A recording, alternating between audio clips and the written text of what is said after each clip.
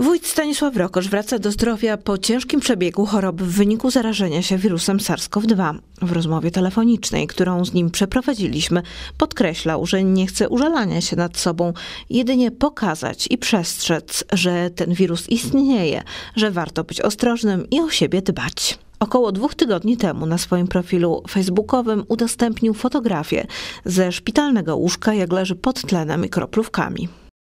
Przypadkowe badania wykazały po prostu wynik e, e, pozytywny, aczkolwiek wszyscy wiemy, że wokół nas to krąży. Jest to zagrożenie, ale jeśli bezpośrednio dotyka danego e, człowieka, to po prostu te skojarzenia są bardzo, bardzo mm, głębokie i towarzyszyły mi w tych pierwszych momentach gdzie e, podałem, e, poddany byłem już e, leczeniom i surowica i antybiotyki. Po siedmiu dniach dopiero nastąpił atak i okazało się, że w ten czas już mam zajęte część płuc, dalsze leczenie na klinice w Krakowie, gdzie podkreślano po prostu, że to, co zastosowano w Dębicy na ten okres było bardzo e, słuszne. To umożliwiało, że szybciej i teraz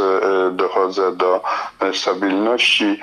Wójt Stanisław Rokosz bardzo bał się, że zarazi swoich najbliższych nieubolewanie po prostu na tym, że ja jestem, bo wiele, wiele osób jest, ale to jednocześnie po prostu takie e, ostrzeżenie, że ten wirus jest. On się po prostu e, nie czai, on atakuje i należy po prostu zachować pewną ostrożność, bo nie żyjemy tylko dla siebie, ale i również dla najbliższych. Na szczęście włodarz gminy wraca do zdrowia. Został wypisany ze szpitala, a dalsze leczenie będzie odbywało się w warunkach domowych. Zostajemy sami, nie ma odwiedzin, więc e, po prostu powstaje e, taka dziura, dziura psychiczna, z którą trzeba się też e, zmierzyć. Więc apeluję do wszystkich o roztropność, o rozwagę i żeby patrzeć również na drugiego człowieka. Jednocześnie chciałbym podziękować za te wszystkie wpisy, które towarzyszyły o, o powrót e, e, zdrowia, jak i również personelowi zarówno w Dębicy, jak i tutaj e, w klinice w Krakowie. Mówię sobie do zobaczenia, do zobaczenia w zdrowiu. Wójt cały czas był w kontakcie z pracownikami gminy. Wcześniej pisał SMS-y, a potem już telefonicznie zarządzał pracami urzędu.